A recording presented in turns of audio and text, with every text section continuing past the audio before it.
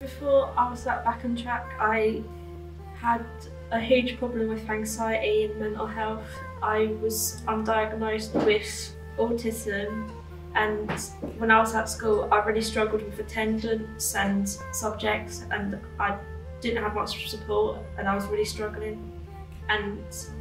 it got to a point where I could not leave the house without my mum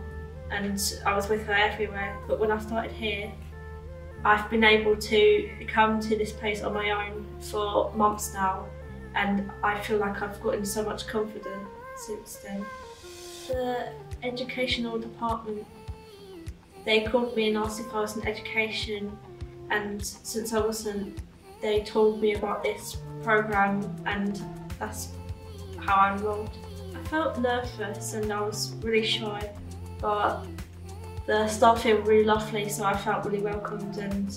I felt much better when I met them and could feel myself getting more comfortable with them. It was around 12 weeks and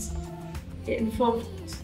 learning new skills through games or really fun activities that would involve stuff like learning about work experience and qualifications you need, CVs, how to be more confident and what skills that I have. I wasn't entirely sure what I wanted to do. Before then I was at college doing an animal care course but I left because I was just surrounded by people that didn't want to do it and I just didn't like it there so I left and then when I came here I was unsure about what I wanted to do but they helped me find out that I wanted to do jobs that involved either helping people or life, anything in life that involves helping. When I was at school, I had really bad attendance and my mm. family were on the verge of getting fined for it because of my anxiety and mental health. But when I've started coming here, I've barely had any days off. That's the best my attendance have been since I was in primary school and every time that I have to come in, I feel really excited and I don't want to leave. There's not like one singular thing that I like particular like I like the most because everything was just so much fun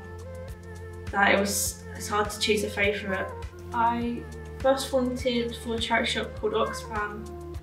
but I left because I wanted to find something else to do and find something to do as a job and CXK they helped me with the, finding what I wanted to do and I've managed to get a job at Apollo Taxis where I will be accompanying young children and vulnerable adults and with the taxi drivers they go to school and back to make sure that they're safe. I feel excited but also slightly nervous since I've never had a job before. Plan on taking some courses just to continue to go down a career path or find new career paths and now I really love studying so I'd love to study more and learn about new things. I could describe back on track in one sentence, it would be the best experience I've had in my life so far. It makes me feel so much better about myself and I feel really proud of myself and it's taught me that I can improve and that, that nothing should hold you back from doing what you want to do.